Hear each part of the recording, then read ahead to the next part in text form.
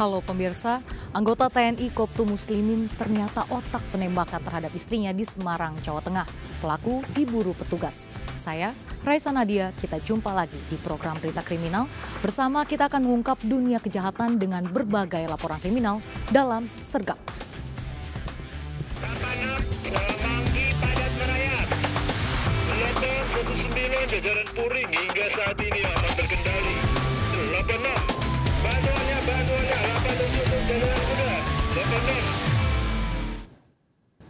Pemirsa seorang nenek tewas terjebak kobaran api yang melalap habis rumahnya di Endrekang, Sulawesi Selatan.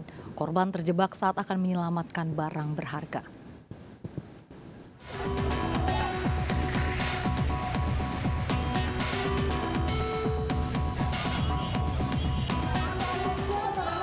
Kobaran api membakar dua rumah warga di Lakawan, Kabupaten Endrekang, Sulawesi Selatan. Api dengan cepat menjalar dan membakar isi rumah. Warga berupaya memadamkan api dengan alat seadanya. Naas, AR, nenek 80 tahun, tewas terjebak di dalam rumah saat hendak menyelamatkan barang berharga miliknya. Kebakaran diduga akibat korsleting listrik.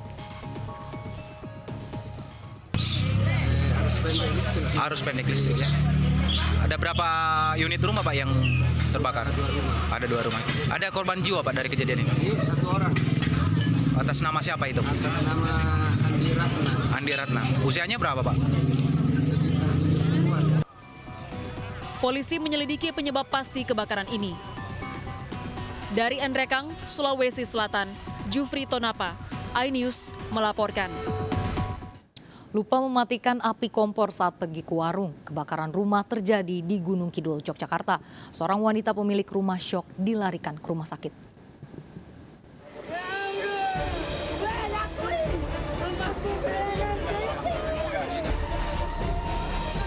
Wanita parubaya ini tak kuasa menahan tangis menyaksikan rumahnya dilalap api di Padukuan Jeruk Sari, Gunung Kidul, Yogyakarta.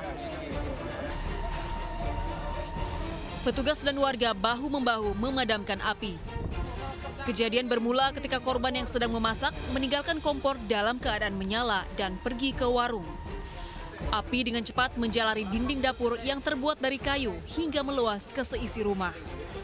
ternyata sudah asap membumbung tinggi di atas ini, sudah hitam. Terus kita menghubungi eh, pihak eh, pihak berwajib, polsek, terus disambungkan ke pemadam kebakaran. kan evakuasi tempat kejadian dan kita memasang garis polisi untuk pemilik rumah korban dibawa ke RSUD Wonosari. Akibat peristiwa ini, korban mengalami kerugian puluhan juta rupiah. Masyarakat diimbau untuk berhati-hati ketika memasak. Dari Gunung Kidul, Yogyakarta, Kismaya Wibowo melaporkan. Tawuran remaja saling serang menggunakan senjata tajam meresahkan warga Manggarai, Jakarta Selatan. Ironis, tawuran dipicu saling ejek di media sosial.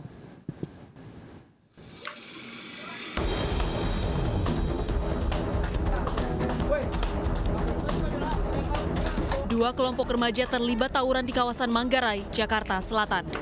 Pelaku saling serang menggunakan senjata tajam. Tawuran diduga akibat saling ejek di media sosial. Polisi yang tiba di lokasi menyisir lokasi dan mengamankan sejumlah pelaku. Selain itu, sejumlah barang bukti senjata tajam dan dua sepeda motor dibawa petugas. tangkap dua remaja dengan barang bukti satu buah celurit dan satu buah stick golf. Selanjutnya dua remaja itu kami serahkan ke Polsek Tebet karena masuk wilayah Polsek Tebet. Oh, artinya eh, udah sempat terjadi tawuran banget tadi itu ya? Sudah sudah sebentar tapi baru sebentar terjadi tawuran. Kedua remaja pelaku aksi tawuran dibawa petugas ke kantor polisi. Dari Jakarta, Miftahul Gani melaporkan. Geng motor menyerang buruh pabrik di Tangerang, Banten. Satu orang luka-luka. Pelaku juga merampas handphone korban.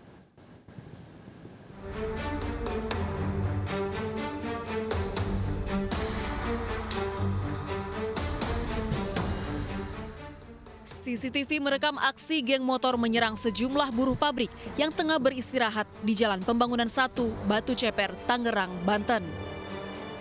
Pelaku datang menganiaya dengan senjata tajam dan merampas handphone salah seorang buruh. Satu orang alami luka senjata tajam jenis celurit di bagian perut.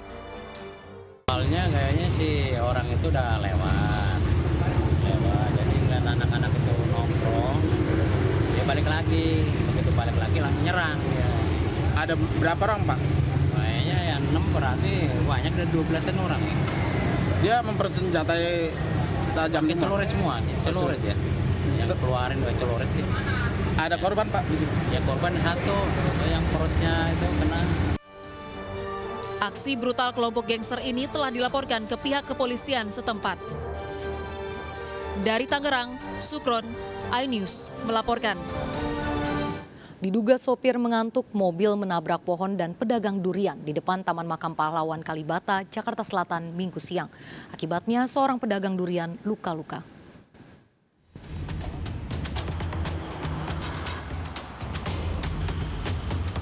Mobil ini ringsek usai menabrak pohon mangga dan pedagang durian di depan Taman Makam Pahlawan Kalibata, Jakarta Selatan, Minggu siang.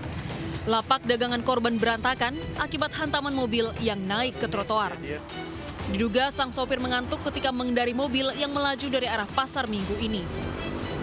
Akibat peristiwa ini, sang pedagang durian terluka dan dilarikan ke RS Budi Asih, Jakarta Timur. Kayaknya ngantuk, tahu apa dia injaknya salah rem apa. Jadi posisi mobil begitu saya lihat dari jauh udah minggir. Cuman lebih dekat-dekat langsung naik ke trotoar. Kasus kecelakaan ini ditangani unit laka lantas Satlantas Polres Metro Jakarta Selatan. Dari Jakarta Selatan, Den Helmi Sajangbati melaporkan. Tiga orang tewas akibat mobil pickup yang ditumpangi ditabrak truk tangki. Tabrakan terjadi saat mobil pickup hendak menyalip kendaraan di depannya.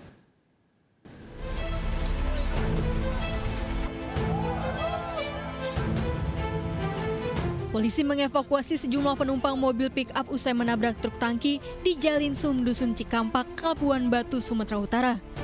Kecelakaan terjadi saat mobil pick-up bermuatan sayuran yang melaju dari arah kota Pinang menuju Bagan Batu hendak menyalip kendaraan di depannya. Tiga orang tewas termasuk sopir mobil pick-up. Tiga penumpang yang berada di bak belakang alami luka-luka. Sementara sopir truk kabur usai kejadian. Orang meninggal dong tadi bang? Bagi dua lah yang di tempat. Dua yang di tempat ya? Yang lain di, bawa ke rumah sakit bang? Ada berapa juga? Enam. Enam. Enam ya. Polisi masih mengejar sopir truk tangki yang kabur.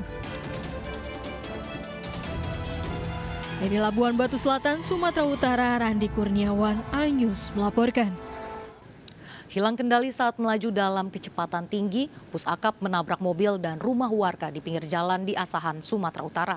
Akibatnya tiga orang penumpang luka-luka, mobil serta rumah warga hancur.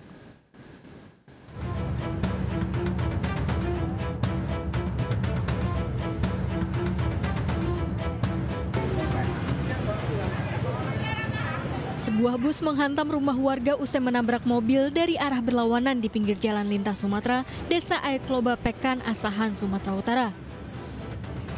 Menurut saksi, bus melaju dengan kecepatan tinggi dari Rantau Prapat menuju Medan. Akibat tabrakan, tiga penumpang mobil terluka.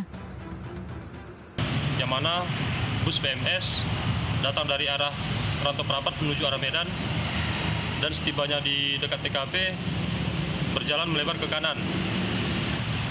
Bertabrakan dengan minibus Sigra yang datang dari arah berlawanan. Dan sesaat setelah kecelakaan, bus PMS tersebut tetap melaju ke sebelah kanan jalan dan menabrak uh, rumah warga yang berada di sebelah kanan jalan, arah Medan. Polisi memeriksa supir bus untuk mengetahui penyebab pasti kecelakaan. Sementara mobil dan bus diamankan ke pos lantas Pulau Raja. Dari Asahan, Sumatera Utara, Ulil Amri iNews melaporkan. Seorang siswi SMK yang ditemukan tewas di Kali Cikeas, Bekasi ternyata dibunuh oleh kekasihnya. Pelaku sakit hati karena cintanya diputus oleh korban. Sadis, pelaku merencanakan pembunuhan dengan mengajak dua temannya. Ada mayat.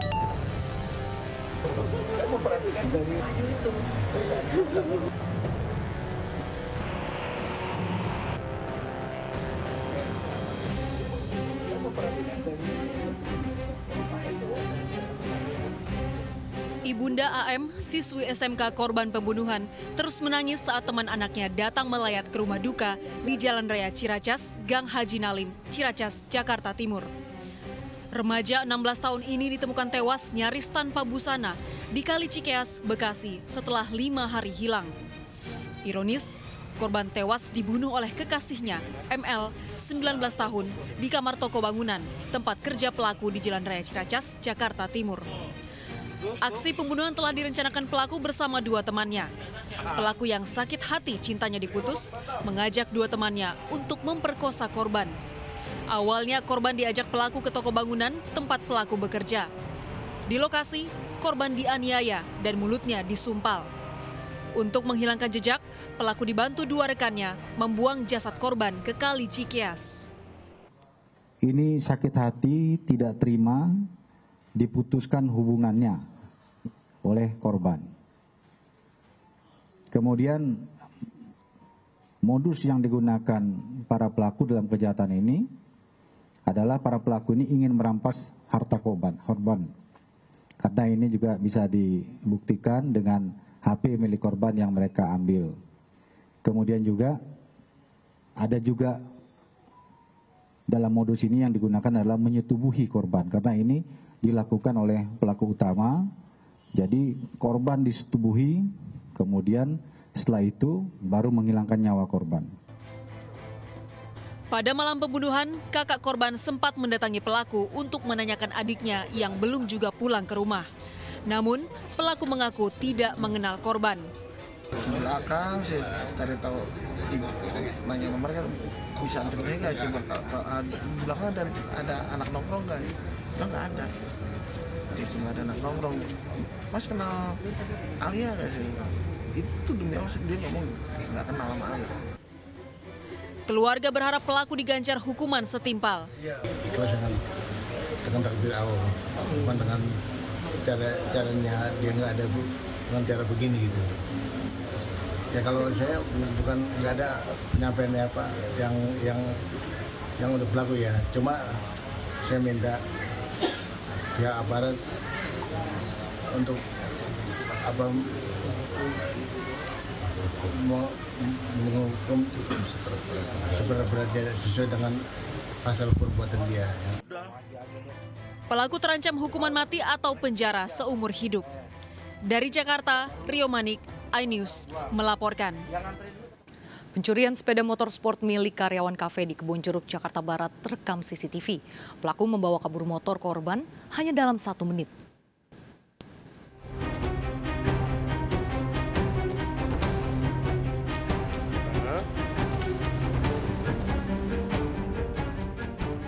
Bak profesional, pria ini beraksi merusak kunci kontak motor sport milik karyawan sebuah kafe di kawasan Greenfield, Kebonjeruk, Jakarta Barat, dini hari. Pelaku memanfaatkan kondisi parkiran kafe yang sunyi. Hanya dalam satu menit, pelaku membawa kabur motor korban.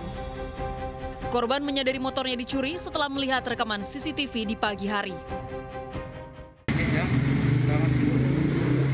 jam 10 nya taruh di sini motor baru beres-beres di atas jam 11 jam 12 jam sampai jam setengah tiga hilangnya motor itu masih istirahat nah paginya motornya hilang pas mau berangkat kerja Kasus ini telah dilaporkan korban ke kepolisian sektor Kebon Jeruk. Korban berharap pelaku segera ditangkap. Dari Jakarta, Sofian Firdaus, iNews melaporkan. Mayat wanita ditemukan di pinggir pintu keluar tol Karangtengah, Tangerang. Ada luka jeratan di leher korban. Siapakah pelaku pembunuhan ini? Ikuti informasi lengkapnya sesaat lagi tetap di Sergap.